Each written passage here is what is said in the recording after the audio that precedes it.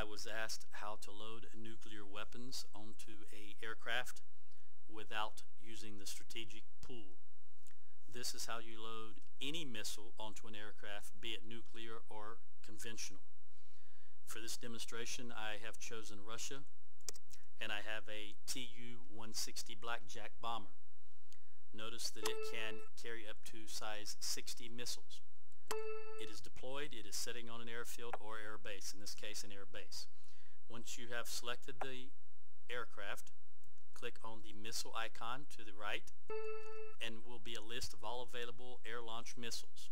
Scroll down to find a nuclear missile and here we have four AS-19 Koalas. Now you click on that and this highlights these four uh, icons here.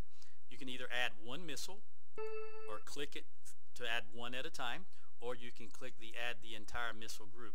In this case it would load all four missiles because the group is only four missiles. So let's let it load all four missiles.